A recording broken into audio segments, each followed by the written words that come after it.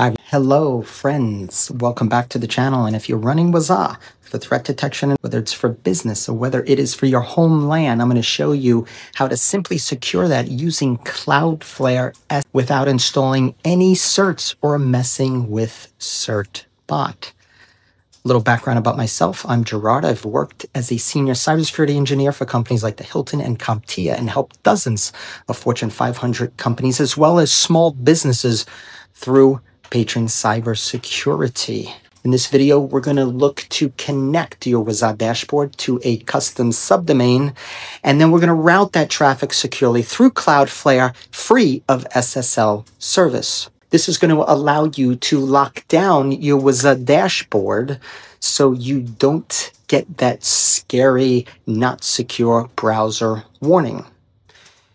And in the process, we're going to do all of this without having to install Let's Encrypt manually.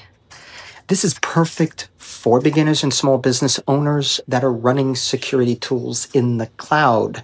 So let's jump in and get your dashboard protected. Let's get started. We're going to log into Cloudflare.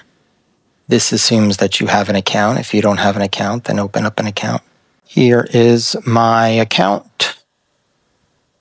Let's go ahead and start the process. Okay, so just logged in here to Cloudflare. And what we're going to do is we're going to onboard a domain. This is going to be a new domain. It's going to manually scan. We're going to save it. Next, you're going to have to log in to your GoDaddy account if that's the registrar that you're using.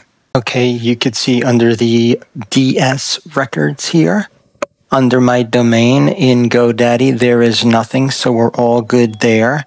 We can make sure that we can go ahead and proceed with the process. Okay, now we're going to find the name server section in the domain name that you're going to use to point to the Wazuh dashboard.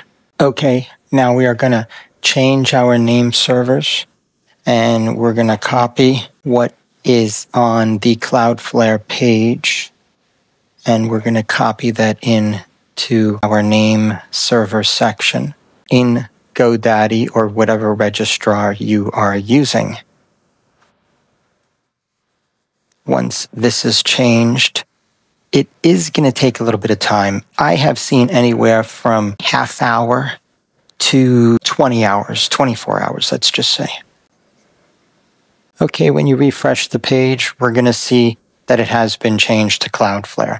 So once this promulgates, we can go to the next step. So I'm going to put this on pause and I'm going to wait till this promulgates on their server.